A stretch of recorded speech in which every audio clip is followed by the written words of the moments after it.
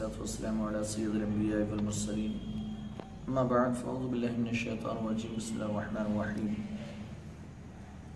واقتلهم حيث ثقفتمهم وأخرجهم من حيث أخرجكم. والفتنة أشد من القتل. ولا تقاتلهم عند المسجد الحرام حتى يقاتلكم فيه. فإن قاتلكم فاقتلوهم. كذلك جزاء الكافرين. صدق الله العلي العظيم. وبلغنا رسوله النبي الكريم. ونحن على ذلك من الشاهدين والشاكرين والحمد لله رب العالمين. گزشتہ اتوار کی تفسیر میں اللہ تبارک و تعالیٰ نے ہمیں حکم دیا کہ اللہ کی راہ میں ان لوگوں سے جہاد کرو، ان لوگوں سے جنگ کرو جو تم سے جنگ کرتے ہو جو تم سے جنگ کریں۔ اور یہ پہلی اجازت تھی۔ ورنہ پہلے تو برداشت کرنے کا، صبر کرنے کا حکم تھا۔ یہ پہلی بار اجازت ملی۔ اور یہ اس وقت جبکہ مدینہ منورہ اللہ کے رسول حضرت فرما کر آ گئے اور اب اسلام قوت و شوکت میں تھا، ماننے والوں کی تعداد بڑھ گئی۔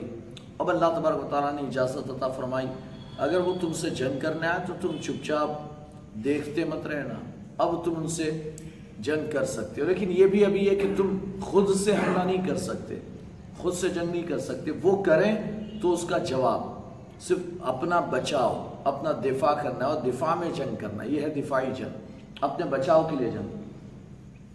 تو یہ اجازت ملی اور اس میں بھی اللہ تبارک و تعالیٰ نے فرمایا کہ تم حد سے آگے مت بڑھنا کہ جو جنگ میں شریک نہ ہوں تم انہیں بھی دیکھو، پکڑ کر مارنا شروع کر دو۔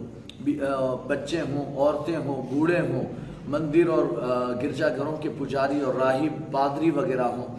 جنہیں جنگ سے کوئی لینا دینا نہیں، تو ایسے یا وہ مرد وہ مرد جو جنگ میں شریک نہیں ہوئے، وہ اپنے گھروں میں ہیں، اپنے کھیتوں میں، اپنے کاموں میں ہیں، وہ ان کو جنگ سے کوئی لینا دینا نہیں، تو ایسے لوگوں کو بھی قتل کرنے سے ویسے آج بھی یہی حکم ہے کہ منع ہے، اور اس وقت بھی یہ حکم ہے کہ تم حد سے آگے مت بڑھنا۔ اسی طرح جسے قتل کر دیا، اس کے اعضا کو کاٹنا مسلح کرنا یعنی کہ ناک کان وغیرہ کاٹنا، جسم چیر دینا، یہ ساری چیزوں سے بھی رب نے منع فرمایا۔ اب اللہ تعالیٰ اس آیت مبارکہ میں یہ سورہ بقرہ کی آیت نمبر ایک سو اکانوے ون نائنٹی ون اللہ تعالیٰ اس آیت مبارکہ میں فرماتا وَقْتُلُهُمْ حَيْثُ ثَقِفْتُمُهُمْ تم ان سے جنگ کرو، تم ان سے انہیں قتل کرو جہاں بھی پاؤ۔ حَيْثُ ثَقِفْتُمُهُمْ تم انہیں جہاں بھی پاؤ، وہیں قتل کرو۔ یہ دوسرا حکم ہے۔ وہ پہلا یہ تھا کہ اگر وہ قتل کریں تو تم کرو، ورنہ تو نہیں۔ یہ دوسرا حکم ہے۔ وقت رحم حیث و ثقیف تم وَقْتُلُهُمْ حَيْثُ ثَقِفْتُمُهُمْ وَأَخْرِجُهُمْ مِنْ حَيْثُ أَخْرَجُكُمْ۔ اور تم انہیں ان کے مکانوں سے یعنی ان کے ملک سے باہر کر دو، نکال دو، جیسا کہ انہوں نے تمہیں نکالا تھا۔ جیسے تمہیں انہوں نے نکالا، تم انہیں نکال دو۔ اور تم جہاں بھی ان سے، انہیں پاؤ، انہیں قتل کرو۔ یہ حکم کفار مکہ کے لیے۔ ہے ہمارے لیے نہیں، یہ عام لوگوں کے لیے نہیں ہے کہ بھئی جہاں بھی مل جائے بس مارو مارو، یہ سب کے لیے نہیں، یہ کفار مکہ کے لیے ہے، یہ حکم۔ اور یہ اس وقت ہے یعنی ایک تو یہ کہ بھئی وہ کریں، اگر وہ شرارت کریں تو آپ کو جوابی حملہ کرنا ہے۔ اور پھر یہ کہ خوف یہ تھا کہ عمرہ کرنے جائیں، اور حالت عمرہ میں، حالت احرام میں، یہ لوگ ہم یعنی کوئی شرارت کرے، بدہدی کرے، ہے تو صلح۔ میں نے گزشتہ اتوار بتایا تھا صلح حدیبیہ میں صلح ہوئی تھی دس سال کے لیے جنگ بد۔ لیکن اب اگر یہ صلح توڑ دیتے ہیں بدہدی کرتے ہیں، وعدہ خلافی کرتے ہیں، اور اگر کسی پر حملہ کر دیتے ہیں، تو حرم میں تو شکار کرنا منع ہے۔ حرم میں شکار کرنا منع ہے، اور وہ بھی حرام مہینوں میں۔ چار حرام مہینے تھے، تو ان چار حرام مہینوں میں جنگ کرنا سخت منع۔ تو اس میں ذیقادہ بھی ہے، چار حرام مہینے ہیں۔ حرام سے مطلب ہے محترم، حرام مہینے سے مطلب ہے محترم، با عزت یہ عزت و عظمت والے مہینے وہ چار ہیں کہ جس کے اندر جنگ کرنا منع ہے، حرام ہے۔ پہلے تھی، اب نہیں ہے۔ پہلے یہ حکم تھا۔ وہ چار مہینے کون کون سے ایک ذیقادہ ذیلحجہ، محرم اور رجب۔ ذیقادہ ذیلحجہ، محرم، یہ تین لائنز ہیں۔ اور ایک ہے رجب۔ یہ چار مہینے ایسے کہ جن میں کفار بھی زمانے جاہلیت میں بھی جنگ نہیں کرتے تھے۔ زمانے جاہلیت میں یعنی اسلام نہیں آیا تھا، تب وہاں کے کفار جو ہیں وہ بھی ان چار مہینوں کا احترام کرتے تھے اور اس میں جنگ نہیں کرتے تھے۔ یہ اور بات تھی کہ وہ کچھ اور بہانہ کرتے تھے۔ یعنی کچھ اور یعنی ٹرک آزماتے تھے۔ ایک نئی ٹرک لاتے تھے۔ وہ ٹرک کیا تھی ان کی؟ جنگ ہو رہی ہے۔ دو قبیلوں کے درمیان اور اس میں بہت زیادہ یعنی جب تک اسلام نہیں آیا تھا، بہت جنگیں تھی کیسی جنگ کیسی جنگ ہوتی تھی؟ کہ چلتے چلتے اگر کسی کو ٹکر لگ گئی، ٹھوکر لگ گئی یعنی آپس میں ٹکرا گئے یا کسی نے کسی کو غلطی سے گالی دے دی، بس وہ آواز لگاتا ہے میرے قبیلے والوں آ جاؤ۔ اور آ کر ادھر سے یہ بھی آواز لگاتا ہے میرے قبیلے والوں مدد کو پہنچو۔ دونوں قبیلے آ جاتے، بغیر کام کی، بغیر بات کی لڑائی شروع ہو جاتی۔ اب یہ جنگ یعنی لڑی، پورا دن لڑے، کل دیکھیں گے، واپس سب چلے گئے۔ اب پھر دوسرے دن صبح تیار ہو کر آ جاتے کہ چلو جنگ کریں۔ اور ایسا یہ کئی مہینوں تک یہ جنگ چلتی رہتی تھی۔ کبھی ایسا ہوتا کہ ادھر کے ایک قبیلے نے ادھر قبیلے والوں کو دوسرے قبیلے والے کو قتل کر دیا۔ تو پھر وہ اگر ادھر والا مل جاتا تو اسے قتل کر دیتے۔ ادھر کے دو چار مل جاتے تو دو چار کو قتل کر دے۔ ایک کے بدلے میں دو چار کو بھی قتل کر دیتے۔ یہ سارے یعنی بہت زیادہ جنگ ہوا کرتی تھی، لڑائی جھگڑے بہت زیادہ ہوتے۔ تھے چھوٹی چھوٹی باتوں میں جنگ شروع ہو جاتی تھی۔ ایک تو ہوتا ہے کہ بھائی چھوٹی سی بات دو آدمی آپس میں لڑائی جھگڑا کر لے، مار پیٹ کر لے، یہ۔ اور یہاں تو بات یہ تھی کہ چھوٹی سی بات دو آدمی کے درمیان ہوئی اور قبیلوں کو بلایا اور جنگیں شروع کر دی۔ تو یہ یعنی اس طرح جنگ کے حالات تھے۔ اللہ کے رسول صلی اللہ علیہ وسلم آئے، اس کے بعد یہ جنگ یعنی تھوڑی سی ختم ہوئی۔ اللہ کے رسول نے جو ہے لوگوں کو ایک دوسرے کا حلیف بنایا، ایک دوسرے کو یعنی جیسے اوس اور خزرج۔ انصار کے دو قبیلے تھے۔ انصار کے دو قبیلے، ایک اوس اور ایک خزرج۔ ہمیشہ سے جب سے یعنی یہ دو بھائی، اصل میں دونوں بھائی ہیں، اوس اور خزرج۔ ربیہ اور مزر دو بھائی تھے۔ ربیہ اور مزر پھر ان کی اولاد ربیہ کی اولاد جو ہے، اوس اور مزر کی خزرج۔ یہ ہے کہ ربیہ کی دونوں اولاد ہیں ربیہ کی دونوں اولاد ہیں۔ اوس اور خزرج۔ مزر ایک الگ قبیلہ بنا۔ ربیہ کی دو دو بیٹے تھے۔ ایک کا نام اوس تھا، ایک کا نام خزرج تھا۔ پھر دونوں بیٹوں سے دو قبیلے یعنی پورا خاندان چلا تو دو قبیلے بن گئے، ایک اوس اور ایک خزرج۔ اور دونوں میں اتنی سخت لڑائی تھی، چھوٹی چھوٹی باتوں میں لڑتے۔ یہ انصار کے دو قبیلے تھے مدینے کے رہنے والے تھے۔ تو اللہ کے رسول نے انہیں بھی آپس میں بھائی بھائی بنا دیا۔ اور مہاجرین یعنی قریش اور انصار کو آپس میں بھائی بھائی بنا دیا۔ یہاں تک کہ آپ نے دیگر قبیلے والوں کو اپنا حلیف بنایا۔ یعنی حلیف کا مطلب یہ ہوتا ہے کہ ایک دوسرے کی دوستی کا معاہدہ۔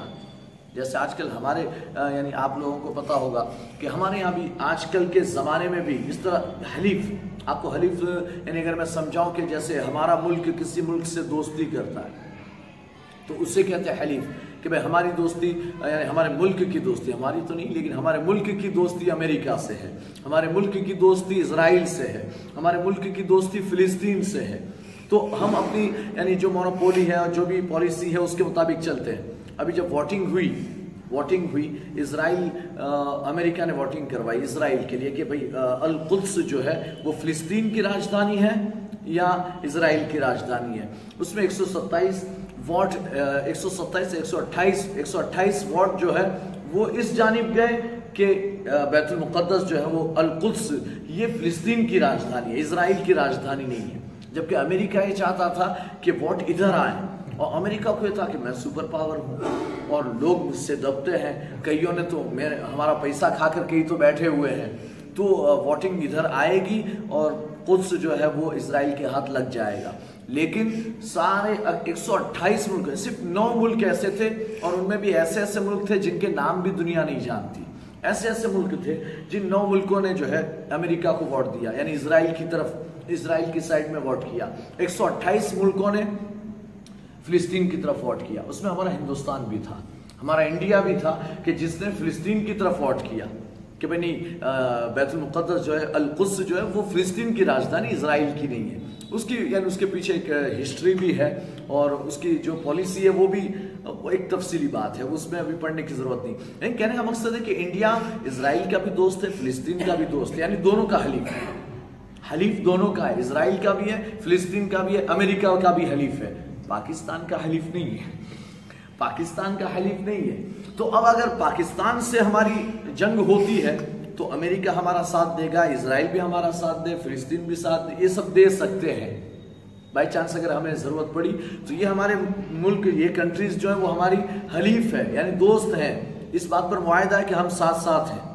اس بات پر معاہدہ ہے کہ ہم ساتھ ساتھ ہیں۔ تو اب اگر امریکہ کو ضرورت پڑی تو ہماری مدد لے گا، لے سکتا ہے۔ اور اگر ہمیں ضرورت پڑے تو امریکہ ہماری مدد کر سکتا ہے۔ لیکن پاکستان سے ہماری یعنی دوستی نہیں ہے۔ وہ ہمارا حلیف نہیں ہے۔ تو اب ہماری اور پاکستان کی کبھی جمتی نہیں ہے۔ اب ہمیشہ جنگ چلتی رہتی ہے۔ تو ویسے ہی اللہ کے رسول صلی اللہ علیہ وسلم نے بہت سے قبیلوں کو اپنا حلیف بنایا۔ جہاں بھی کسی بستی میں جاتے، ملاقات کرتے بستی والوں سے اور ان پر یہ یعنی پیش کرتے کہ بھائی یا تو اسلام قبول کر لو، نہیں کرتے کوئی بات نہیں۔ لیکن حلیف بن جاؤ۔ ہمارے حلیف بنو گے، دوست بنو گے۔ ہاں کہ اگر ہم پر مصیبت آئی، جنگ کا موقع آ گیا، ہم پر مصیبت آئی، تو تم ہمارا ساتھ دو گے۔ ہمارے خلاف اگینسٹ نہیں کھڑے ہوں گے۔ اگینسٹ نہیں ہوں گے۔ اور ساتھ دو نہ دو، کم سے کم دشمن کا ساتھ تو نہیں دو گے۔ یہ یہ حلیف ہے، یہ دوستی ہے۔ تو اب اللہ کے رسول نے کئی قبیلوں سے پہلا ہی جو سریہ بھیجا۔ حضرت یعنی اللہ کے رسول صلی اللہ علیہ وسلم کو پتا چلا کہ ابو جہل ملک شام سے تجارت کا قافلہ لے کر، تجارت کا سامان و سامان بیچ کر، دوسرا وہاں کا سامان، ملک شام سے سامان لے کر اور منافع کما کر بہت سارا مال لے کر جو ہے وہ واپس آ رہا ہے۔ ابو جہل کے ساتھ تین سو آدمی تھے اس قافلے کی حفاظت کے لیے، مال و سامان کی، ساز و سامان کی حفاظت کے لیے۔ جب سرکار کو یہ پتا چلا تو سرکار نے حت امیر حمزہ کو، حضرت امیر حمزہ کو امیر بنایا اور آپ کے ساتھ تیس آدمی کر دیے، تیس صحابہ، سارے مہاجرین تھے۔ تیس صحابہ کر دیے کہ تم جاؤ اور اس قافلے کا یعنی اسے راستے میں پکڑو اور پکڑ کر جو ہے ان کا سامان سمیٹ کر لے آؤ۔ اور یہ کام اس لیے کہ یہ نہیں کہ لوٹ پاٹ لوٹ پاٹ اور ڈاکہ زنی کرنے کا ارادہ تھا، نہیں۔ مقصد یہ تھا کہ وہ ہمیں بہت ستاتے ہیں۔ اگر ہم ان کے راستے میں اگر آڑ بنیں گے اور ان کے کاروبار میں اگر بزنس میں ہم رکاوٹ بنیں گے، تو کم سے کم وہ ہم کو آرام دیں گے کہ بھائی ان کو چھیڑنے میں مزہ نہیں ہے۔ ان کو چھیڑیں گے تو ہمارا بزنس پر اثر پڑے گا، تو ان کو چھیڑو مت۔ یہ کم سے کم یعنی فرق پڑے گا۔ اس لیے اللہ کے رسول نے تیس صحابہ کو بھیجا، حضرت امیر حمزہ رضی اللہ تعالیٰ عنہ کی قیادت میں۔ حضرت امیر حمزہ کے لیے اللہ کے رسول نے سب سے پہلا جھنڈا باندھا۔ سفید رنگ کا جھنڈا تھا اور وہ جھنڈا جو ہے، حضرت ابو مرسد کناز کناز ابن حسین، کناز ابن حسین رضی اللہ تعالیٰ عنہ، یہ صحابی رسول ہے۔ ابو مرسد ابن مرسد غنانی۔ رضی اللہ تعالیٰ عنہ۔ نام تھا کناز ابن حسین۔ تو انہیں وہ جھنڈا تھمایا اور وہ جھنڈا ان کے ہاتھ میں تھا۔ امیر حمزہ روانہ ہوئے۔ اب حضرت امیر حمزہ رضی اللہ تعالیٰ عنہ سیف البحر یعنی سمندر کے کنارے تک پہنچے۔ مقام عیس، ایک جگہ کا نام ہے عیس، ایک جگہ کا نام ہے۔ وہاں اس جانب سے سمندر کے سائل پر یعنی سیف البحر پر پہنچے۔ جب وہاں پہنچے تو تین سو آمنے سامنے ہو گئے۔ تین سو اور تیس آمنے سامنے۔ اور تیار ہو گئے، لائن لگا دی یعنی صف بندی کر دی۔ انہوں نے بھی صف لگا دی، انہوں نے بھی صف لگا دی، اور جنگ شروع ہونے والی ہے۔ جنگ شروع ہونے والی ہے۔ اتنے میں وہاں ایک قبیلہ رہتا تھا، قبیلہ جوہینا وہ انہی کے یہ سرزمین تھی جوہینا کی۔ تو قبیلہ جوہینا کے ایک آدمی امر ابن مجدی ابن امر جوہنی۔ مجدی ابن امر جوہنی۔ وہ یعنی انہوں نے دیکھا کہ دونوں میں جنگ ہونے والی ہے، تو اب یہ دونوں کے حلیف تھے۔ مجدی ابن عمر جو ہے وہ دونوں کے حلیف تھے، کفار مکہ کے بھی حلیف تھے اور مسلمانوں کے بھی، اللہ کے رسول کے بھی حلیف تھے، تو وہ بیچ میں آ گئے۔ کبھی امیر حمزہ کے پاس گئے، ادھر مسلمانوں کے پاس گئے، کبھی ادھر گئے، پھر ادھر آئے، پھر ادھر گئے۔ دونوں سے بات چیت کی، معاملہ ٹھنڈا کر دیا۔ بھائی تو جنگ نہیں کرنی، چلو جاؤ اپنی اپنی جگہ، واپس جاؤ۔ حضرت امیر حمزہ رضی اللہ تعالیٰ عنہ واپس آئے اور سرکار کو سارے یعنی کوئی جنگ نہیں ہوئی، ایسے ہی لوٹ گئے۔ امیر حمزہ آئے اور ساری حالات بتائے تو اللہ کے رسول نے مجدیب نے امر کے لیے دعا فرمائی۔ اور فرمایا کہ وہ بہت بہترین شخص ہے کہ جس نے جنگ ہونے سے روک لی۔ تو اللہ کے رسول جنگ چاہتے نہیں تھے، ہے نا؟ اور یہ حلیف بنا بنا کر اللہ کے رسول نے جنگ بندیاں کی ہے اسی طرح یہودیوں کو بھی اپنا حلیف بنایا۔ وہاں جو بنو نذیر تھے، بنو قریضہ تھے، یہ جو مدینے میں رہتے تھے، جو قبل بنو قینقہ ایک یہودیوں کا قبیلہ تھا، بنو کینو کا، وہ مدینے میں تھا، بنو نذیر اور بنو قریضہ یہ دونوں جو ہے مدینے سے باہر بستی میں آباد تھے، ان کے بڑے بڑے باغات تھے، ان کا قلعہ تھا، تو وہاں جا جا کر اللہ کے رسول انہیں بھی اپنا حلیف کیا کہ اگر باہر سے ہم پر حملہ ہوتا ہے تو تم ہمارے اگینسٹ نہیں جاؤ گے ہماری ہیلپ کرو گے یہ ساری اچھا اگر ہمارے سے کوئی آدمی قتل ہو جاتا ہے غلطی سے کسی کا یعنی کسی قبیلے کا آدمی قتل ہو جاتا ہے، غلطی سے قتل ہوتا ہے، اور ہمیں اگر اس کو یعنی اس قبیلے کو مال دینا پڑا، دیت میں مال دینا پڑا، تو اس مال دینے میں تھوڑا تم بھی ہماری ہیلپ کرو گے۔ ہم تھوڑا مال نکالیں گے، تھوڑا تم نکالنا۔ اگر تم سے ایسا کچھ ہو گیا تو ہم نکالیں گے۔ یہ ہے حلیف۔ میں سمجھانا یہ چاہتا ہوں کہ یہ ہے دوستی، یہ حلیف۔ تو اللہ کے رسول نے اس طرح یعنی قبیلوں کے درمیان جو بہت سخت جنگیں چلتی تھی اسے روک دیا۔ تو اب یہ مسئلہ تھا کہ ہم تو یعنی حرم میں شکار نہیں کر سکتے۔ اگر انہوں نے شرارت کی تو ہم کیا کریں گے؟ پھر یہ کہ قاعدے کا مہینہ ہے؟ یعنی حرام مہینہ ہے۔ پھر حرم کی سرزمین ہے۔ تو پھر ہمارا کیا ہوگا؟ اور حالت احرام میں ہے۔ حالت احرام میں جو نہیں مار سکتے۔ آدمی کیسے ماریں گے؟ جو نہیں مار سکتے۔ آدمی کیسے ماریں گے؟ تو یہ سارے سوال کھڑے ہوئے تو اللہ تعالیٰ نے آیت مبارکہ نازل فرمائی۔ کیا رب فرماتا ہے کہ وقت ہے تو ثقیف تم تم انہیں جہاں پاؤ، وہیں پر انہیں قتل کرو۔ یعنی کہ اب اگر حرم ہی میں تمہیں جنگ کرنی پڑے، تمہیں پہل تو نہیں کرنی پہل تو نہیں کرنی۔ لیکن اگر جنگ آ گئی تمہارے سر پر، انہوں نے پہل کر دی، تو پھر تم یہ مت دیکھنا کہ زیقادہ کا مہینہ ہے۔ یہ مت دیکھنا کہ مسجد حرام ہے۔ یہ مت دیکھنا کہ حرم کی سرزمین ہے۔ اور یہ مت دیکھنا کہ حالت حرام میں ہے۔ پھر جنگ کر ڈالنا۔ ہے اور پھر اگر وہ بھاگے، کوئی درخت کے پیچھے چھپتا ہو، کوئی گفا میں جاتا ہو، کوئی دیوار کے پیچھے کوئی گھر جہاں بھی چھپے، وہاں پکڑ، جہاں مل جائے وہیں پکڑ کر قتل کرو۔ اس لیے کہ انہوں نے شرارت کی انہوں نے فتنہ پیدا کیا۔ اللہ تعالیٰ فرماتا ہے، اور تم انہیں مکہ سے نکالو جیسے انہوں نے تمہیں نکالا تھا۔ تم مکہ میں رہتے تھے، انہوں نے تمہیں ستا ستا کر پریشان کر کر کے مکہ سے نکال دیا، تو تم اب انہیں مکہ سے باہر کرو۔ والفتنہ تو اشد من القتل. اللہ تعالیٰ فرماتا ہے، اور یہ تم یہ ڈر رہے ہو کہ ماہ حرام میں یعنی شہر حرام میں، ماہ حرام میں، حرم کی سرزمین پر حالت حرام میں کیسے جنگ کریں گے، کیسے جنگ؟ کہتے یہ تو قتل کرنا قتل کرنا، یہ تو کوئی بہت بڑی بات نہیں ہے۔ قتل سے بڑھ کر فتنہ پھیلانا ہے۔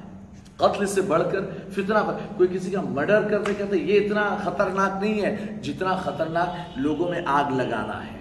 فتنہ پیدا کرنا ہے، لوگوں میں چنگاریاں یعنی ڈالنا ہے۔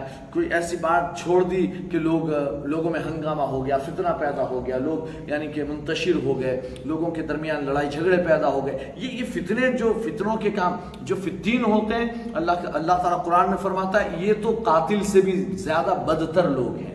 تو رب فرماتا ہے فتنہ تو اشد من القتل۔ فتنہ، زمین میں فتنہ اور فساد پھیلانا، یہ تو قتل سے بھی زیادہ سخت ہے۔ اور یہ تمہیں عمرہ سے تمہیں روک دیا، اللہ کی عبادت کرنے سے روکا تمہیں۔ اور انہوں نے جو ہے بت پرستی اور شرک وغیرہ کرتے ہیں کفر کرتے ہیں، شرک کرتے ہیں، بت پرستی کرتے ہیں حرم کعبہ میں۔ تو اس سے بڑھ کر ظلم اور کیا ہوگا؟ کہ اللہ کی سرزمین پر اللہ کے گھر میں تم اس کے اگینسٹ میں، اس کے خلاف میں کام کر رہے ہو، دوسروں کی عبادت کر رہے ہو، تو اس سے بڑھ کر اور ظلم کیا ہوگا؟ اور اس سے بڑھ کر اور فطرہ، فساد کیا ہوگا؟ تو تم جو ہے، اس کی فکر نہ کرو۔ اگر وہ یعنی جنگ کرے تو پھر تم بھی کر دو۔ وَلَا تُقَاتِلْهُمْ عِنْدَ الْمَسْجِدِ الْحَرَامِ۔ لیکن مسجد حرام کے پاس تم ان سے جنگ مت کرنا، انہیں قتل مت کرنا۔ مسجد حرام کے پاس، کہ چونکہ مسجد حرام جو ہے، وہ ویسے تو ساری مساجد، دنیا کی، دنیا بھر کی ساری مسجدیں بڑی باعزت باعظمت اور حرمت والی ہیں۔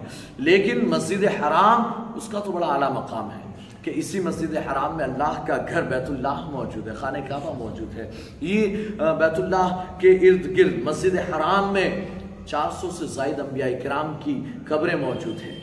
حت ابراہیم حت اسماعیل وغیرہ کی قبریں، بعض انبیاء کی قبریں تو حتیم کعبہ میں موجود ہے جو حتیم کا حصہ ہے، سائیڈ میں جو راؤنڈ، ہاف راؤنڈ دیوار بنائی گئی، اس کے اندر کئی انبیاء اکرام کی قبریں ہیں۔ تو اللہ تعالیٰ فرماتا ہے کہ یہ تو بڑا، یہ بڑی یعنی محترم جگہ ہے۔ تو مسجد حرام کے پاس ان سے تم قتل مت کرنا یعنی پہل مت کرنا، حتیٰ یقاتلکم فی، یہاں تک کہ وہ حرم میں تم سے جنگ کرے۔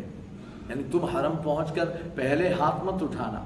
ہاں وہ تم سے جنگ کے لیے آمادہ ہو، تیاری کرے، تو پھر تم بھی تیار ہو جاؤ۔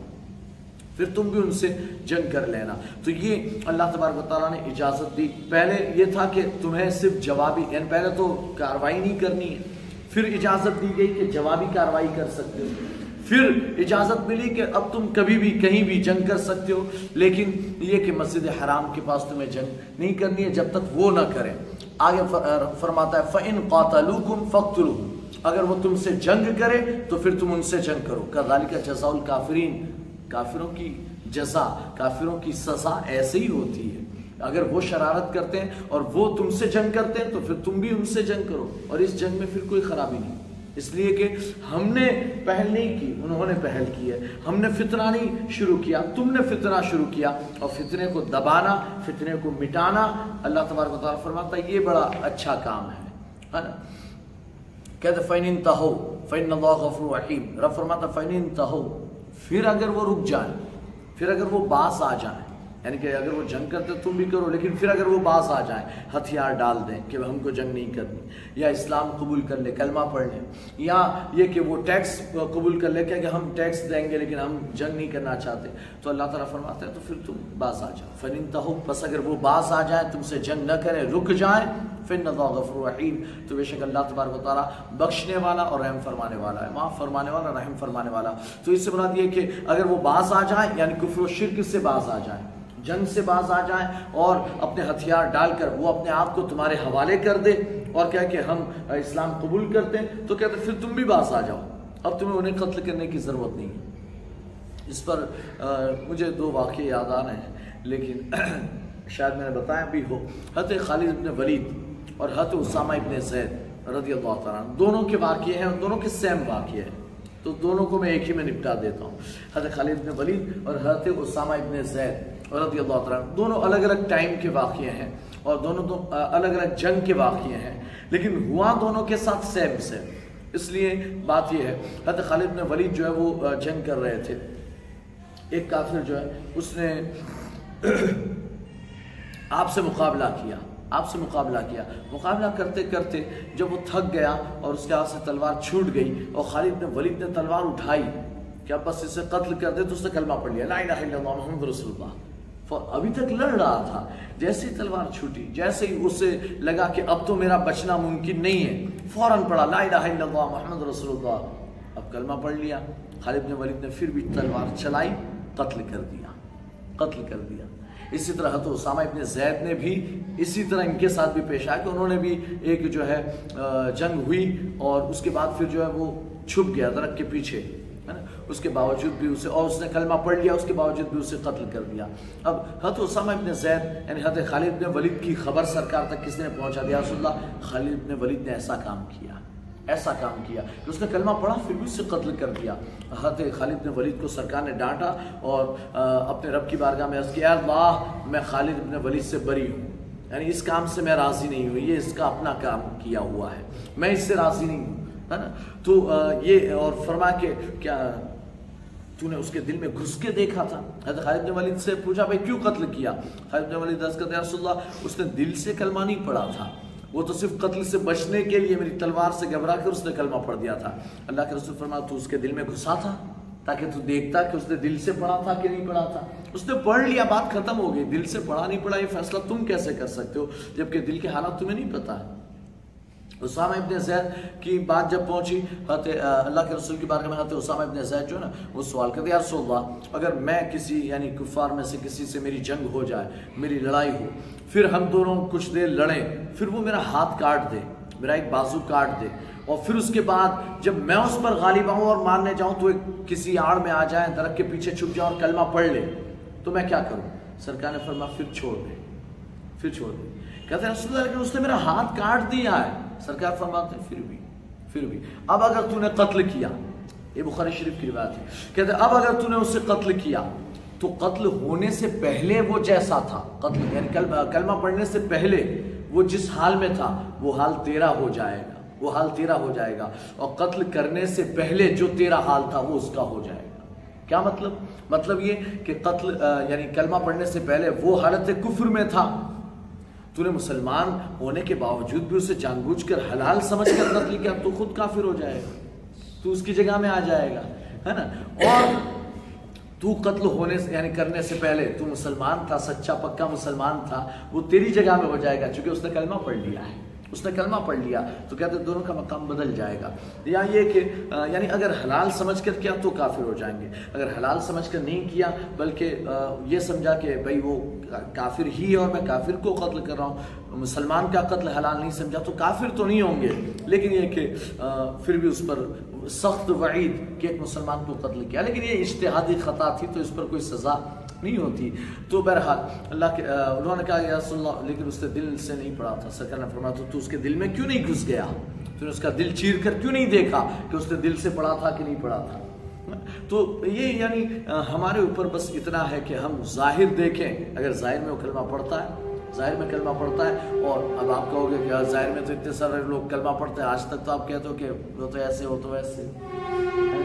ظاہر میں تو کلمہ بھی پڑھتے، نماز بھی پڑھتے، روزہ بھی پڑھتے، زکوٰۃ بھی، حج بھی۔ لیکن یعنی ظاہر میں کلمہ پڑھتا مطلب ہے کہ کلمہ پڑھنے کے بعد اس سے اسلام کے خلاف کوئی کام نہ ہوتا، کوئی کام صادر نہ ہوتا۔ ہاں،, ہاں تو پھر وہ جو ہے ہم اسے مسلمان سمجھیں گے۔ لیکن اگر وہ کلمہ بھی پڑھتا ہے اور گستاخ رسول بھی ہے جب گستاخی کی، معاملہ وہیں پر فنش ہو جاتا ہے، وہیں ختم ہو جاتا ہے۔ اب اس کے بعد اس کا اسلام میں کوئی حصہ نہیں، کوئی حصہ نہیں۔ اب یہ دیکھیں کہ جب مکہ فتح ہوا، جب فتح مکہ ہوئی، مکہ فتح ہو گیا تو اللہ کے رسول صلی اللہ علیہ وسلم نے امان دے دی، کفار مکہ کو یعنی جو بھی فلاں ام ہانی کے گھر میں جو جو چلا گیا، وہ بھی امان والا۔ ابو سفیان کے گھر جو گیا، وہ بھی امان والا۔ جو خانہ کعبہ میں آ گیا، وہ بھی امان والا۔ جس نے ہتھیار ڈال دیے، وہ بھی امان والا۔ یعنی امان پر امان دیے جا رہے ہیں۔ اللہ کے رسول فرماتے لا تصریب علیکم اليوم۔ آج تم پر کوئی سختی نہیں، کوئی بدلہ نہیں۔ آج تم سے کوئی بدلہ نہیں لیا جائے گا، بلکہ آج تمہارے لیے امان ہی امان ہے۔ بالکل آزاد جو بھی امان چاہے، ہم سے جو جنگ نہیں کرے گا، ہم اس کو امان دے دیں گے۔ بس تم ہتھیار ڈالو، تمہارے لیے امان ہے۔ تم فلاں کے گھر میں چلے جاؤ، تمہارے لیے امان ہے۔ لیکن سرکار نے کچھ لوگوں کے بارے میں فرمایا کہ وہ جہاں ملے، انہیں قتل کرو۔ اس لیے کہ وہ اللہ کے رسول کے گستاخ تھے۔ بڑی گستاخیاں کیا کرتے تھے۔ کہتے ایک گستاخ، مجھے ابھی نام یاد نہیں آ رہا ہے۔ حالانکہ وہ دو نام یاد مجھے آ گئے جو صلح حدیبیہ کے تھے۔ صلح حدیبیہ، میں نے یعنی گزشتہ اتوار میں آپ کو بتایا تھا صلح حدیبیہ کا واقعہ۔ تو جو صلح کرنے آئے تھے کرنے آیا تھا، اس کا نام سہیل تھا۔ سہیل ابن امر سہیل ابن امر اس کا نام تھا۔ اور اس کا بیٹا حضرت ابو جندر رضی اللہ تعالیٰ عنہ، وہ عاشق رسول تھے، جو بیڑیوں میں زنجیروں میں جکڑ کر وہاں قید سے چھٹ کر آ گئے تھے۔ زنجیریں لگی ہوئی تھی اور بھاگ کر آ گئے تھے۔ اللہ کے رسول نے حضرت ابو جندل کو واپس کیا تھا۔ سہیل ابن عمر نے کہا کہ یا رسول اللہ، یہ جو شرائط طے ہوئے، اس کے مطابق میرے بیٹے کو واپس کرو، واپس بھیجو۔ سرکار نے کہا، ابھی ہوا نہیں ہے، معاہدہ ابھی ہوا نہیں ہے، ابھی لکھا نہیں گیا، ابھی صحیح سکہ ہوا نہیں ہے، مہر لگی نہیں ہے۔ یہ تو جب ہو جائے گا، اس کے بعد سے یہ قانون نافذ ہوگا۔ اور یہ تو پہلے آ گیا، اس نے کہا نہیں، تب تو پھر سنا نہیں ہوگی۔ سرکار نے کہا، ٹھیک ہے، لے جا۔ وہ مار کے نشان دکھا رہے تھے، یا رسول اللہ یعنی صحابہ کرام کو، دیکھو مجھے کتنا مارتے ہیں، کتنا یعنی مجھ پر سختیاں کرتے ہیں، کتنا ستایا جاتا ہے مجھے۔ مجھے مت بھیجو مت بھیجو واپس۔ لیکن سرکار نے کہا، نہیں، جانا پڑے گا۔ تو واپس بھیج دیا تھا۔ یہ حد ابو جندل تھے۔ پھر واپس مکہ سے بھاگے، مدینہ آئے، سرکار نے واپس لوٹایا تو پھر وہ سمندر کے کنارے جا کر بسے۔ اور پھر بعد میں اور بھی بہت سے لوگ بسے۔ بہرحال یہ بھی یعنی ایک آدمی تھا، ایک کافر، کہ جس کے بارے میں سرکار نے فرمایا تھا یعنی کچھ لوگوں کے بارے میں فرمایا، ان میں ایک یہ بھی تھا کہ جہاں ملے وہیں پکڑ کر اسے قتل کرو۔ باقی سب کے لیے امان ہے، لیکن اسے مت چھوڑنا۔ اس لیے کہ وہ گستاخ رسول تھا۔ حال یہ ہوا کہ وہ جو ہے نا، بھاگا۔ جب مسلمان اس کے پیچھے پکڑنے بھاگے تو بھاگا اور خانہ کعبہ کے پردے میں یعنی غلاف میں لٹک گیا، اوپر لٹک گیا۔ غلاف کعبہ کے اندر چلا گیا اندر جا کر لپٹ گیا۔ اور لٹک گیا گلاف کعبہ سے۔ صحابہ نے آ کر یا رسول اللہ تو کعبے کی دیوار پر جا کر لٹک گیا گلاف کعبہ سے۔ سرکار نے کہا، وہاں، اس کو وہیں قتل کرو، اس کو وہیں قتل کرو اور اس کو وہاں قتل کیا گیا۔ تو یعنی اگر گستاخی رسول کرے یعنی کوئی اگر رسول اللہ کی گستاخی کرے، پھر اس کے لیے امان نہیں ہے۔ پھر اس کے لیے امان نہیں۔ ایمان نہیں ہے تو امان کیسا؟ ایمان نہیں تو پھر امان نہیں۔ ہاں۔ تو اللہ تبارک تعالیٰ نے یہ فرمایا کہ کافروں کا بدلہ ایسا ہی ہے، سزا ایسی ہے کہ اگر وہ ہم پر ظلم کرے تو ہم برداشت نہیں کریں گے، پھر تو ہم خود بھی آگے بڑھیں گے۔ یہ اس کے بعد رب فرماتا فین تہو فین غفر غفر رحیم بس اگر وہ باز آ جائیں یہ سر بقرہ کی آیت نمبر ایک سو بیانوے ہے۔ اگر وہ باز آ جائے تو اگر یعنی وہ ہتھیار ڈال دیں اور اسلام قبول کر لیں تو اللہ تعالیٰ اگلے سارے گناہ ان کے مٹا دے گا، معاف فرما دے گا، ہے نا؟ بے شک اللہ تبارک و تعالیٰ رحم فرمانے والا ہے۔